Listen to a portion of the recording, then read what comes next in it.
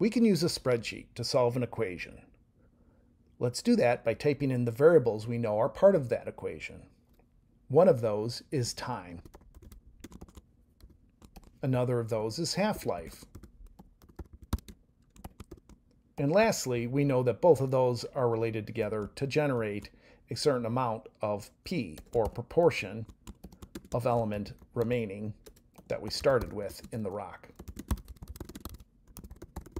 For any given half-life, let's say a half-life of a thousand years, we should be able to predict the proportion of element remaining based on our equation. For example, a thousand years after the rock formed, there should be 50% of the element remaining.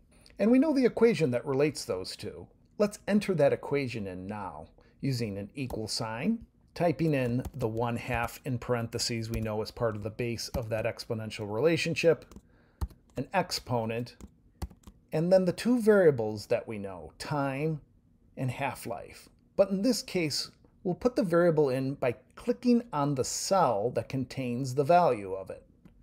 In this case, it's cell A2 divided by the cell B2. This should now generate 50%, which it does. If we were to type in 2000 as the time at which we are taking a measurement of the rock after it formed, it should yield 25%, which it does. If now we want to find the time that, let's say, 90% of the element is remaining, I can guess and check my way there.